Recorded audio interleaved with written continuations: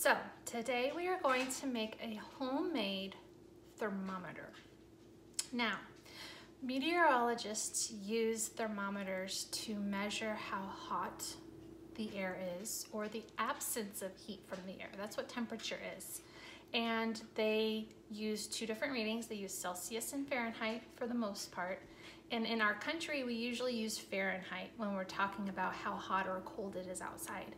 So on the weather apps and in the weather television reports, they'll say a high of 62 degrees, a low of 48. That means it's going to be as warm as 62 degrees.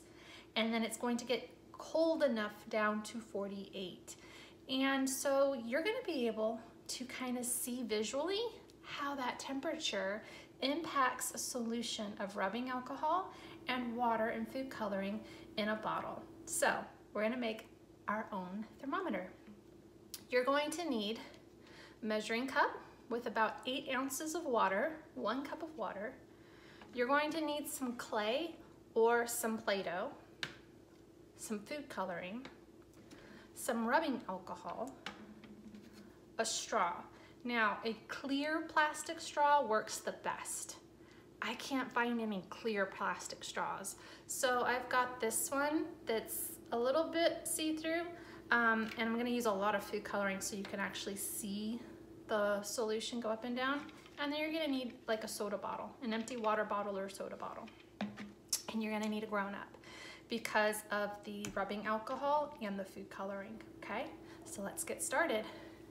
We are going to take our eight ounces of water and we're going to pour it into our soda bottle. I'm using water that's been sitting at room temperature for a little bit. If you use warm water, it kind of makes a mess when you're all said and done with this experiment, okay?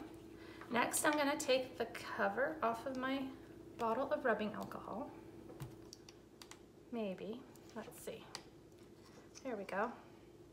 Now we're gonna use rubbing alcohol because in thermometers the meteorologists use, they're alcohol based with the rubbing alcohol because rubbing alcohol does not freeze. So the thermometer can be outside and it can get very, very cold and the thermometer won't freeze and be stuck.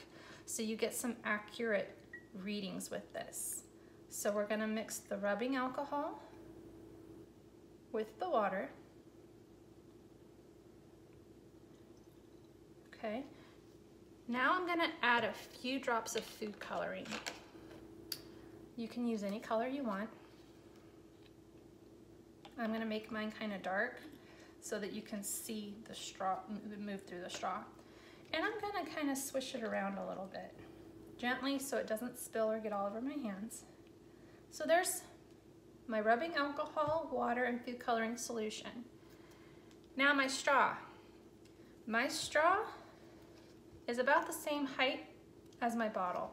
I'm gonna put my straw into my bottle and I can put it down into it, but I do not want to go for it to touch the bottom. I don't want it to do all the way to the bottom. I want the water to be able to go up into the straw and out of the straw. So I'm gonna put my straw in my bottle and I'm going to leave it hanging out a little bit at the top. And this is where the clay comes in, or Play-Doh, either one. You're going to want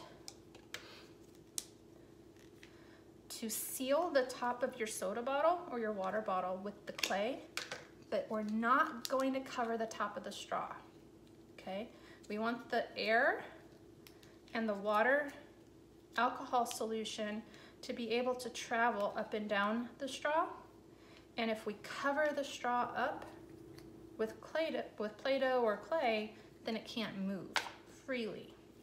So I'm going to put the straw into the water it's not touching the bottom and I'm going to seal as tight as possible my Play-Doh around my straw.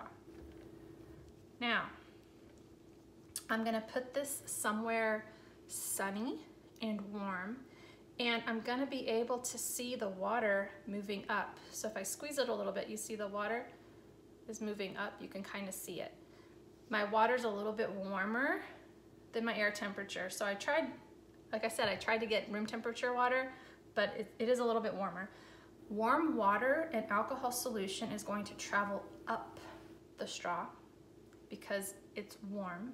When it starts to cool down, it's going to go down the straw.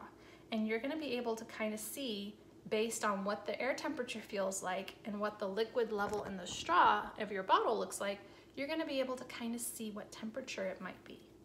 Now, are you going to have a very accurate measurement? No, you're not making a real meteorological tool, but this is a very fun way to see and measure temperature. I'm gonna put this outside.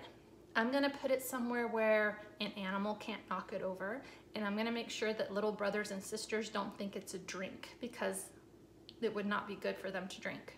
So out of sight of an animal who might want to knock it over like a cat or a dog, and out of sight of a little brother or sister who might think that that's something fun to drink. And then you can keep an eye on and you can see the level of your water and alcohol mixture going up and down the straw. Bye.